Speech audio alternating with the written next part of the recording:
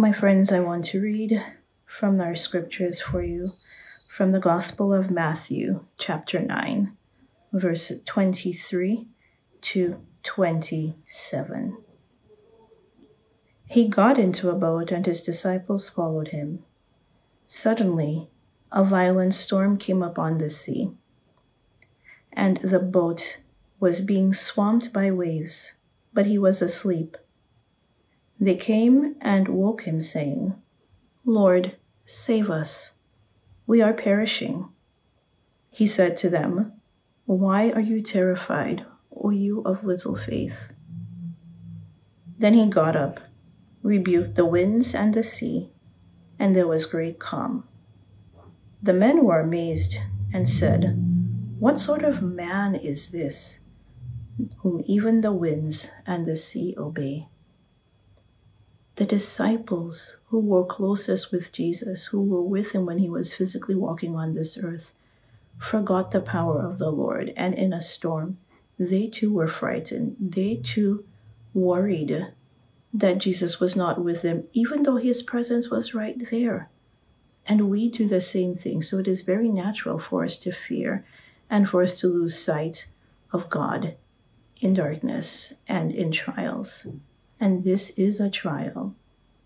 It may not necessarily be something that will physically threaten us, but many of us have loved ones who have been hurt, who have become sick. We have family members that are working in situations that put them at risk. And we want to have the Lord present with us in all of this. He is with us and He reminds us why are you worried? Where is your faith? I implore you to use this time to draw closer to the Lord. You may not have Him in the presence of the Eucharist in your house or being able to go to a church physically, but you can find a Mass online. You have the presence of the Holy Scriptures. If you have a Bible, read it. Get close to the Lord and ask Him, what is it that He seeks of you right now to grow in your faith?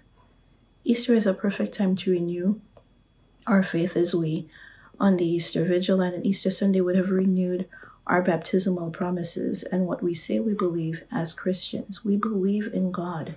We believe in Jesus Christ, His Holy Son. We believe in the Holy Spirit. Hold on to those truths. Faith is something that grows in times when difficulties probably pressure us to move us and challenge us to new heights. That is what this time comes calls for. And if we lose sight of that, if we lose hope of that, what else do we have if we do not have Christ, who is our strength and our anchor? Continue to be safe. Take the precautions that are being given to us washing hands, social distancing, and protecting ourselves if we must leave, but not losing sight of the things that we are sure of. We are certain that God is with us, that He loves us, and He would never call anything like this to happen upon us. So we cannot lose sight of that and remain close to Him. God bless you. Be safe and happy Easter, because it still is.